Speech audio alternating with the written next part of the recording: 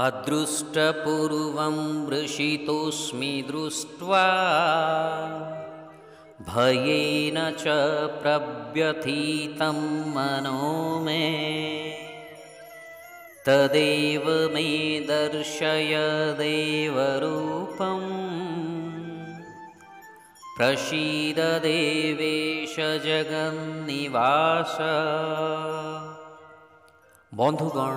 ଦୁଇ ପ୍ରକାରର ଭକ୍ତି ଅଛି ଐଶ୍ୱର୍ଯ୍ୟ ଭକ୍ତି ଏବଂ ମାଧୁର୍ଯ୍ୟ ଭକ୍ତି ଐଶ୍ୱର୍ଯ୍ୟ ଭକ୍ତିରେ ଭକ୍ତ ଭଗବାନଙ୍କର ସର୍ବଶକ୍ତିମାନ ରୂପକୁ ଧ୍ୟାନ କରି ଭକ୍ତି କରିବାକୁ ଭଲ ପାଇଥାଏ। ଐଶ୍ୱର୍ଯ୍ୟ ଭକ୍ତିର ପ୍ରମୁଖ ଭାବ ହେଉଛି ବିସ୍ମୟ ଏବଂ ସମ୍ମାନ। ଏପରି ଭକ୍ତିରେ ଭଗବାନଙ୍କ ଠାରୁ ଦୂରତ୍ୱ ବୋଧ ହୋଇଥାଏ।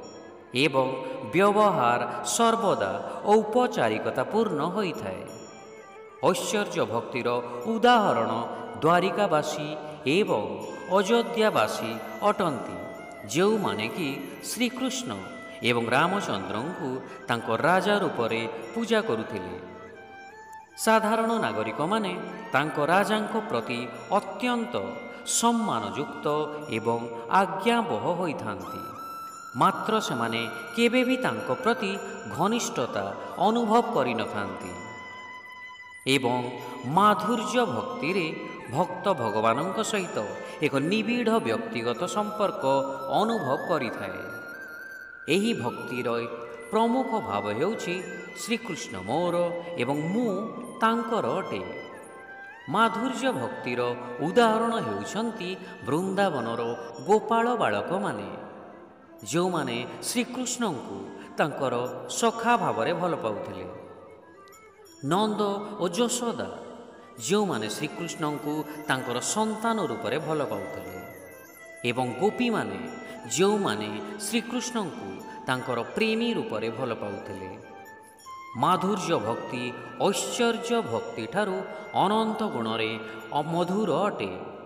ତେଣୁ ଜଗତଗୁରୁ ଶ୍ରୀ କୃପାଳୁଜୀ ମହାରାଜ ଭକ୍ତି ଶତକରେ କହିଛନ୍ତି ସବୈ ସରସ ରସ ଦ୍ୱାରିକା ମଥୁରା ଅରୁ ବ୍ରଜମାହି ମଧୁର ମଧୁରତର ମଧୁରତମ ରସ ବ୍ରଜରସ ସମନାହି ଅର୍ଥାତ୍ ଭଗବାନଙ୍କର ଆନନ୍ଦ ସମସ୍ତ ରୂପରେ ଅତ୍ୟନ୍ତ ମଧୁର ଅଟେ ତଥାପି ଏହାର ସ୍ୱର ଭେଦ ରହିଛି ଦ୍ୱାରିକା ଲୀଳାର ଆନନ୍ଦ ମଧୁର ଅଟେ ମଥୁରା ଲୀଳାର ଆନନ୍ଦ ମଧୁରତର ଅଟେ ଏବଂ ବ୍ରଜ ଲୀଳାର ଆନନ୍ଦ ମଧୁରତମ ଅଟେ।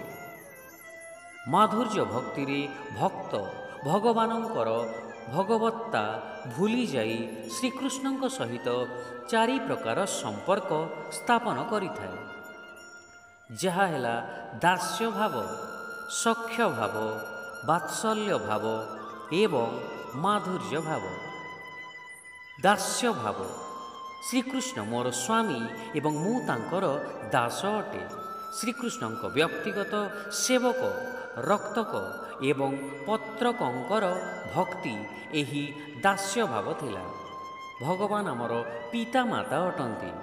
ଏହି ଭାବନା ଦାସ୍ୟ ଭାବର ଏକ ରୂପାନ୍ତର ଅଟେ ଏବଂ ଏହି ଭାବ ଏଥିରେ ସନ୍ନିହିତ ହୋଇଥାଏ।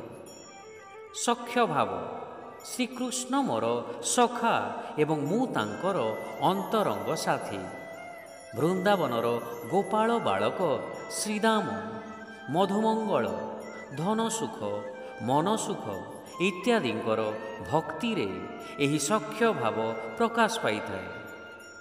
ବାତ୍ସଲ୍ୟ ଭାବ ଶ୍ରୀକୃଷ୍ଣ ମୋର ପୁତ୍ର ଏବଂ ମୁଁ ତାଙ୍କର ମାତା ପିତା ଯଶୋଦା ଏବଂ ନନ୍ଦ ବାବାଙ୍କ ଭକ୍ତିରେ ଏହି ବାତ୍ସଲ୍ୟ ଭାବ ଥିଲା ଏବଂ ମାଧୁର୍ଯ୍ୟ ଭାବ। ଶ୍ରୀକୃଷ୍ଣ ମୋର ପ୍ରିୟତମ ଏବଂ ମୁଁ ତାଙ୍କର ପ୍ରେୟସୀ ଅଟେ। ବୃନ୍ଦାବନର ଗୋପୀମାନଙ୍କ ଭକ୍ତି ଏହି ଶ୍ରେଣୀର ଥିଲା। ଅର୍ଜୁନ ସଖ୍ୟ ଭାବର ଭକ୍ତ ଅଟନ୍ତି ଏବଂ ଭଗବାନଙ୍କ ସହିତ ଏକ ଭ୍ରାତୃତ୍ୱପୂର୍ଣ୍ଣ ସମ୍ବନ୍ଧର ରସାସ୍ୱାଦନ କରନ୍ତି।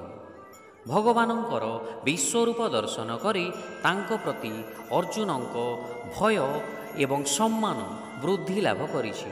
ତଥାପି ସେ ଅଭ୍ୟସ୍ତ ଥିବା ସଖ୍ୟ ଭାବର ମାଧୁର୍ଯ୍ୟ ପାଇଁ ଲାଳାୟିତ ହେଉଛନ୍ତି। ତେଣୁ ଅର୍ଜୁନ ପ୍ରାର୍ଥନା କରୁଛନ୍ତି ଯେ ସେ ତାଙ୍କର ସର୍ବଶକ୍ତିମାନ ରୂପକୁ ଲୁକାୟିତ କରି ପୂର୍ବବତ୍ ନିଜକୁ ମାନବ ରୂପରେ ପ୍ରକଟ କରନ୍ତୁ। ଶିକ୍ଷା ମୁଁ ପୂର୍ବରୁ କେବେ ବି ଦେଖିନଥିବା ଆପଣଙ୍କର ଏହି ବିଶ୍ୱରୂପକୁ ଦର୍ଶନ କରି ଅତ୍ୟନ୍ତ ଆନନ୍ଦ ଅନୁଭବ କରୁଛି। ତଥାପି ମନ ଭୟରେ କମ୍ପିତ ହୋଇଉଠୁଛି ହେ ଦେବତାଙ୍କର ଈଶ୍ୱର ହେ ହେ ସଂସାରର ଆଶ୍ରୟ ମୋ ପ୍ରତି କୃପା କରନ୍ତୁ ଏବଂ ମୋତେ ଆପଣଙ୍କ ସରସ ରୂପର ଦର୍ଶନ କରାନ୍ତୁ। Having seen your universal form that I had never seen before, I feel great joy, and yet my mind trembles with fear. Please have mercy on me and again show me your pleasing form, O God of gods, O abode of the universe. Hare Krishna.